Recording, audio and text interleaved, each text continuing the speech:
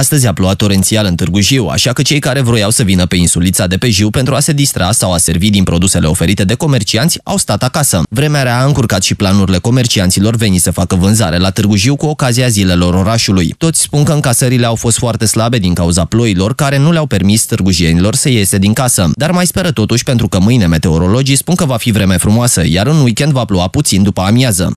Și la noapte, cel puțin în prima jumătate a nopții, vremea rămâne instabilă, cerul va fi temporar noros, Tarii relativ extinse vor cădea averse de ploaie care vor fi însoțite de descărcări electrice,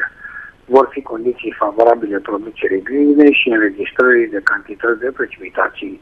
de 20 și peste 25 de litri pe metru pătrat în 24 de ore.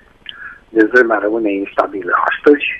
Mâine o vreme în general frumoasă, cer variabil, vânt slab până la moderat, maxime termice între 19 și 24 de grade și minime poimine dimineață între 6 și 11 grade. În weekend, adică sâmbătă și duminică, vreme apropiată de normalul termic, cer variabil,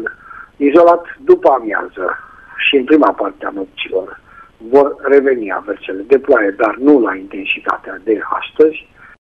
Alex Mica, Antonia, Alex Velea, Accent, DJ Rino și Silvia sunt doar câțiva dintre artiștii invitați la zilele municipiului, pentru ca târgujienii să se distreze și să mai uite de probleme.